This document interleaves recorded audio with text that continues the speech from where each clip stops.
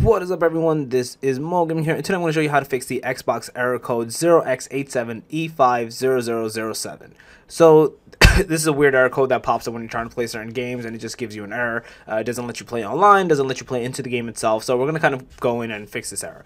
So, what you want to do is you want to go into settings, and under settings, you want to go to general, and then network settings.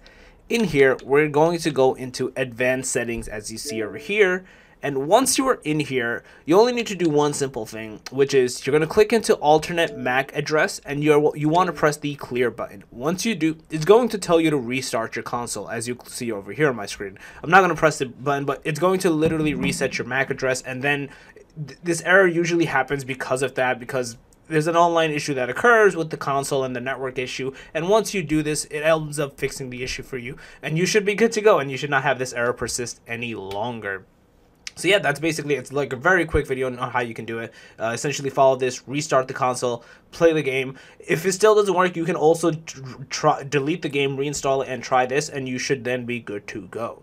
Um, so yeah, that's basically it. Uh, if you guys overall like this video, please smash that like button. Helps a lot. If you guys are new to the channel, make sure to subscribe and click that notification bell. And that, I'm out.